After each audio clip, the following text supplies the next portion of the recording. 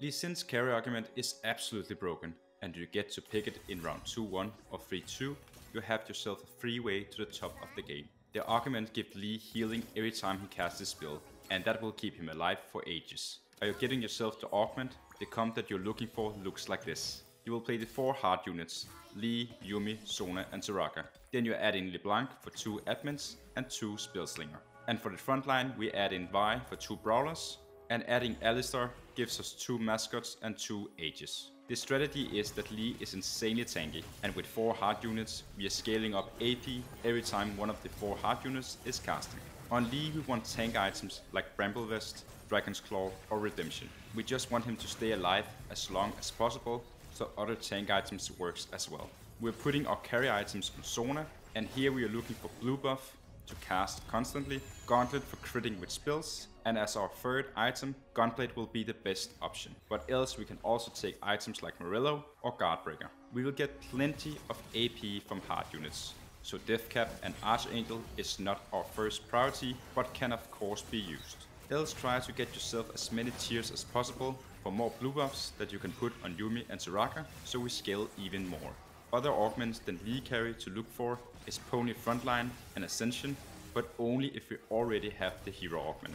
Other strong one is Cybernetic Uplink, Exiles, First Aid Kit, Lotus and Trade Sector. When we are starting the game, we are looking for tear on the first carousel. There is not a specific lineup that we are looking for at stage 2, but having two brawlers and 3 gadget Gadgeteens is a good option. When we are getting to round 3-2, we must have the augment. If we do not have it at this point, we have to consider playing something different, since there's no chance of hitting 2 cost heroes at the third augment. If we do get it, we want to roll a bit to stabilize and hit some 2 stars.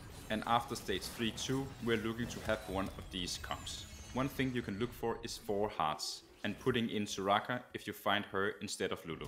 Then you have LeBlanc for Spellslinger and adding Blitz so you activate two Brawlers and their admin trait. When you pick the benefit from admins, you want to pick the one that helps Lee or Sona. That means the best ones is the one that buffs the whole team and not just admins. If you can't get 4 heart units, you can play 2 hearts and 2 admins, plus tank units that fits in. That could be 2 more brawlers, 2 defenders, two Aegis, or even two Pranksters. If you have two Lees to 2 star, you can also play both of them.